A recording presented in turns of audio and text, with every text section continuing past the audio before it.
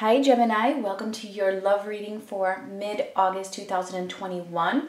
This is a general reading that is going to be for Sun, Moon, Rising, and Venus signs. And because it is general, it's not going to resonate for all of you and the roles can be reversed. If this doesn't resonate with you, if you want, you can check out one of your other signs or one of your person's uh, signs or you can book a personal reading with me. All that information is in the description box. All right, Gemini, let's see. What is the overall energy for you for the second half of August? All right, and we have self-worth. All right, okay, so um, this could be you, this could be another person that you are dealing with. Somebody is really focusing on their own self-worth. And usually when we do that, that also means that we start um, expecting to have things that we deserve, number one, and also not allowing things into our lives that we are not worthy of or that are not worthy of us. Okay, so let's get into this and see.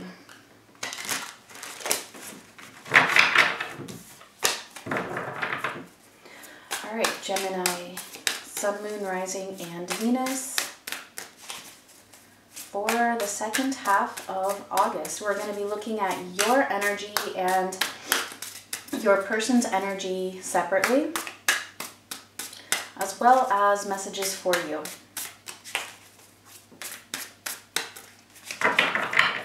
All right, so for you, we have the Knight of Pentacles, the Ten of Wands, and the Knight of Swords. All right, so there's movement here on your end. Um, I feel like you're picking up the pace when it comes to really relieving yourself of certain responsibilities that possibly were not yours to carry. All right, um, this is leading you from getting on the right path, but taking your time in realizing this towards picking up that pace and actually taking action a lot more quickly kind of like, okay, you know what, I'm done. That responsibility, whatever that is, or a heavy burden that was on me, like I'm ready to let that go and do something about this. For them, we have the Ace of Wands, the King of Swords, and the Four of Cups.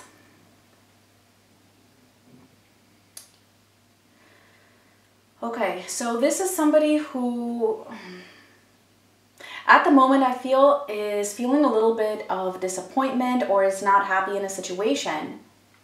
But they're ready to really make a decision and feeling very determined when it comes to following their passion.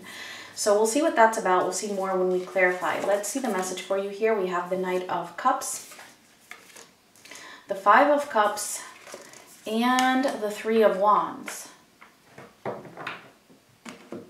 So it feels like there's definitely some kind of an offer that is coming in, possibly from the past. I do get a bit of, there's a little bit of regret or some grief attached to this offer. So I don't know what this could be. It could be a number of things for, for a lot of you, but I feel like basically this is something that you shouldn't rush when it comes to deciding what you want to do about this offer. Okay, that's the message I'm getting here. But again, we're going to clarify and get more specific. So let's see.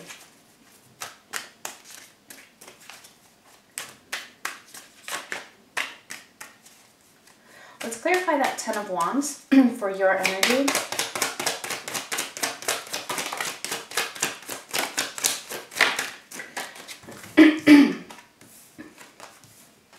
All right, we have the High Priestess, the Five of Cups, and the Ace of Pentacles. All right, so whatever burden this is that you've been carrying or whatever responsibility you've been feeling that possibly just wasn't even yours, you know, whether this was trying to help somebody or um, just being a people pleaser or just going along with somebody else's flow, I feel like intuitively you knew that this was something that just wasn't good for you. This is something that was creating a lot of um, pain for you and it actually has either made you feel like, you know what, like there is some regret with this, or it just didn't lead to anything. And I feel like intuitively you know that now, that releasing this sense of responsibility either for someone else's life or carrying your own responsibility, but in a way where it may have been misguided. I feel like this is what you are trying to change now, and you're finding practical solutions to move in a new direction. And this actually requires releasing something from the past, something that um, maybe a behavior from the past, maybe an attitude from the past, maybe even the person, the, the situation itself. All right, it could be anything. I feel like you're really ready here to move in a new direction in a more practical way that is going to be more serving for you and more in alignment with your higher self. Let's see that Knight of Swords.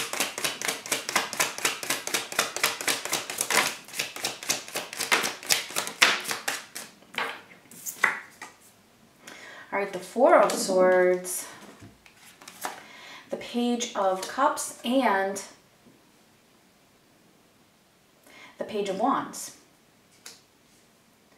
So yeah, I mean, two pages here. I feel like this is really all about you, number one, communicating this. So I feel like you feel like you really want to, if it's not exactly communicating, like verbally expressing it, you just want to express this in some way. And I feel like this is leading you on a new path. And this is because you feel like you have healed something from your past. And again, I feel like you've been on the right path, possibly for a while now, but it was just moving very, very gradually for you. You were just taking very gradual steps.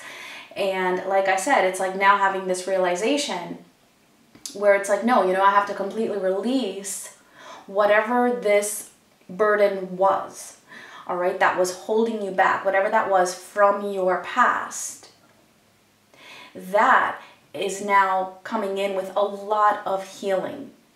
And this is why you are now ready to pick up that pace and move a little bit more quickly. And it's like you're moving into like a whole new world here, like a whole new perspective when it comes to understanding more how it is that you how you feel and what it is that you feel like you are being driven towards. So even from a more spiritual perspective, where what is it that you really feel like, you know, your your higher self is saying yes, you know, what is it that it is pushing you towards? And this is all it's feeling new. It's like a new path. And it's based in truth and it comes again from a place of having healed from within both your emotions, knowing that you're still possibly open um, to this connection for some of you. And also feeling a sense of, I don't know how to explain this, it's like a sense of excitement. Even if it's not exactly what you would want, it's like you're still excited about the newness of how you are feeling and how you are coping with this. And I feel like that comes with a, a newfound sense of self worth. So even if this is for some of you um, releasing a situation, even though that does cause some pain, it does cause a sense of loss, some grief, there is still a sense of feeling like you know you are on the right path here, feeling like you are healed, feeling more harmonious and just like I said, uh, it's not excitement exactly. It's it's hard for me to really pinpoint the word that I'm looking for right now, but it's something along those lines, even if it does come with pain. Just feeling like you're doing the right thing here. All right, let's see for your person. Let's see the Ace of Wands. And I mean, sometimes it's not necessarily your person, but this could be a person attached to you or any person involved in the situation. So we have the Queen of Wands and we have the Three of Cups.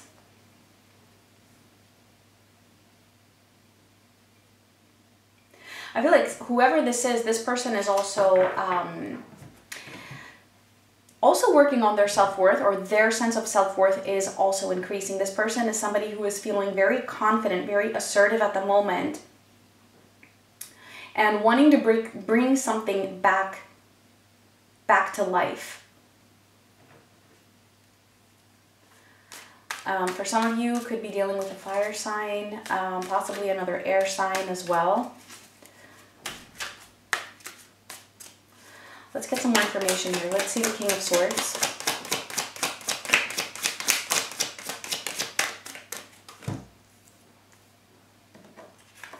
We have the Lovers and the Six of Cups. Wow. This person here, whoever this is, is really determined to have love into their life. Um, I feel like there is a major decision that this person wants to make, and I do feel that it um, involves a coming back together um, with somebody from their past. Okay, so maybe that is you. And I feel like for most of you, this will be you. I'm just, you know, there's probably just a couple of cases or some situations where it might be another person here. Um, but somebody is definitely wanting this connection and feeling very determined to make it happen. There's a lot of, I see a lot of nostalgia, a lot of just wanting a union, a reunion actually, all right, especially with the Three of Cups and the Six of Cups the lovers, the ace of wands. This is all about a reconnecting and bringing something back to life from the past. So whoever this is, I don't see them um, hesitating. I don't see them stopping. I see them really wanting to do this. However, there's also a sense of disappointment here. So let's see what that is about. So Four of Cups.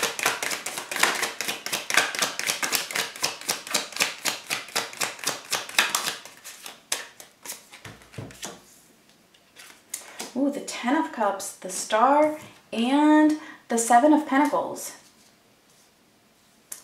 This person is um, currently in a situation where they're not feeling very happy. Their Ten of Cups is missing because I feel like they're feeling like that is you. So this person is feeling a sense of either disappointment or possibly feeling a little bit ignored from you, maybe because you are on this path that you are on. Um, even though for some of you I do feel like the path that you are on is is taking you towards this person for some of you not all of you. All right for others of you it is completely releasing the situation. Either way it doesn't matter. This person is still feeling some sense of a um almost like being being ignored.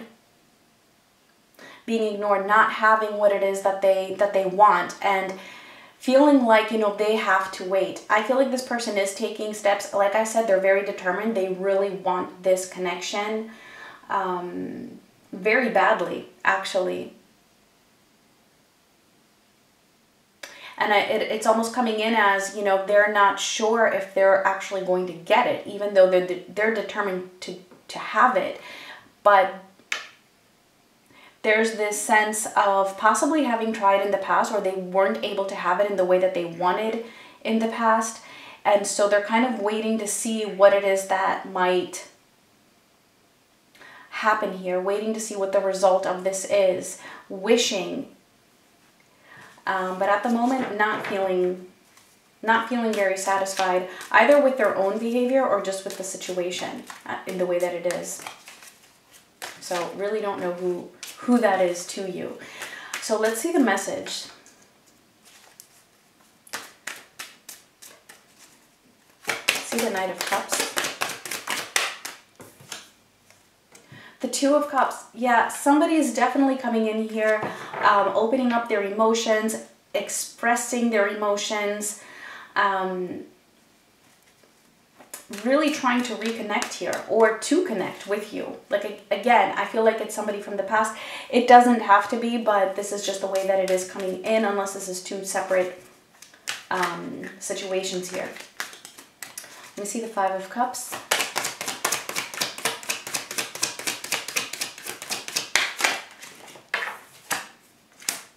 The Four of Pentacles.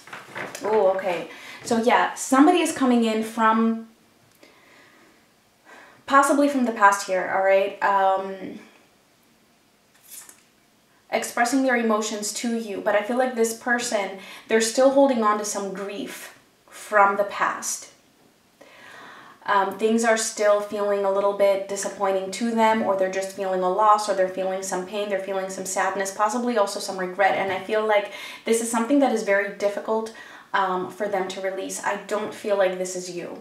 I feel like you you are on your way to really um, just feeling a, a new sense of yourself. I feel like this is you having found this self-worth and you don't want anything that is not deserving of you. So I do get the sense that here, you know, you might be it could be that you're holding on a little bit to the past here of what may have happened with this person, and this might be kind of um, making you want to wait. And I feel like actually this is the guidance here. Let's see the Three of Wands.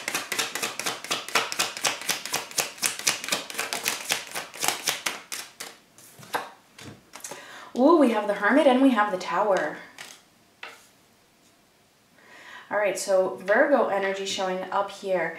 Um, we also have Aquarius showing up. Um, yeah, I feel like, you know, there is something that still needs to happen here, something big, something needs to blow up. And so I feel like for you, you know, possibly what you might also be feeling intuitively is that, yes, you know, even though you're moving quickly towards your own sense of self worth and towards your own healing and on taking a new path when it comes to how you handle this situation, I feel like there's this energy of you knowing that you shouldn't rush when it comes to this connection though. Whatever it is that comes in because there's still something that needs to be resolved from the past. And so this is all about you know what? Don't rush. If you rush you know then things might not turn out as as you expect them to in a positive way. So i feel like the message here for you is don't rush when it comes to this connection. Um, when it comes in, yes, this person is determined, but something still needs to happen. There is a big shift that is coming, and I feel like that needs to happen. So just take your time with this. Make sure you are sticking to your beliefs and your newfound sense of self worth, and don't betray that. All right, Gemini, let's see. final message for Gemini if this resonated. We also have you showing up here with this person being determined um, for Gemini. Forgot to mention that before. All right, so final message for you is the new moon in Aquarius. Bring love into the situation. I feel like, yeah, you know, this, I, I do see love here and I do feel like this love is coming in. So somebody is really feeling determined to bring love into the situation. So I feel like that is the message for you. Um, also to keep in mind that, you know, no matter what it is that is happening, always remember to, um, stay in a love vibration you know bring love into this situation but bringing love into the situation doesn't mean to just accepting anything all right, if something is not ready, it's not ready. If there's still a tower that needs to come down, you know, that tower needs to come down. But you can still um, maintain an energy of love throughout this process in this situation. And that might actually um, help out the situation in whatever way. So, those were your messages, Gemini. I thank you so much for watching and much love.